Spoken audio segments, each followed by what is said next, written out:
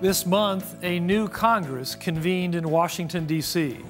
After a bitter 2020 election battle, it could be easy to lose sight of how much we have to be thankful about.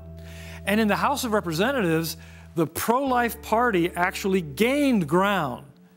Among the gains were 13 new pro life women who were elected to Congress in addition to the 11 incumbent pro life women who were already serving there. Seven of them flipped seats that were last held by pro abortionists. This is one of the more encouraging and I think underreported developments of recent months. Sometimes it's easy to become discouraged in the fight for life. It's been going on for so long. Abortions, nearly a million every year, are still taking place.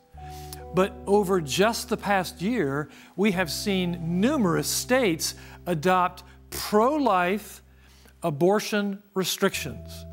Conservatives who believe in the Constitution and don't read a leftist agenda into it, as the Roe v. Wade ruling did, now control the U.S. Supreme Court and fill the federal courts. A generation of Christians who grew up hearing pro life arguments are now taking those arguments into the halls of power.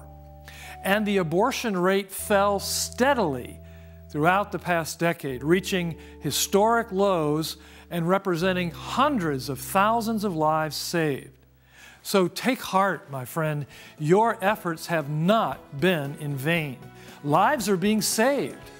As the Apostle Paul tells us, let us not grow weary of doing good, for in due season we will reap if we do not give up.